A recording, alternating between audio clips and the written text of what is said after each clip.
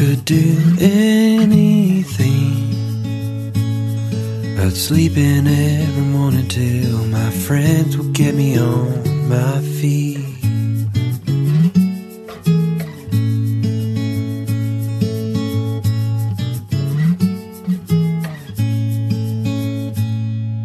When I was seventeen, I learned to make this voice. I'd say a lot of careless things I wouldn't give a second thought.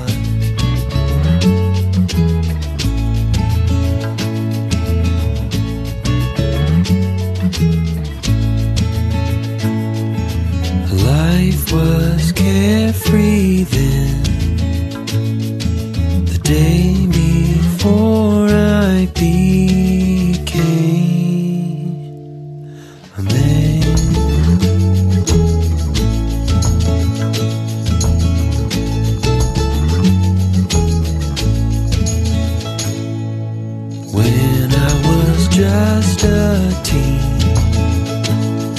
my body was tight and lean.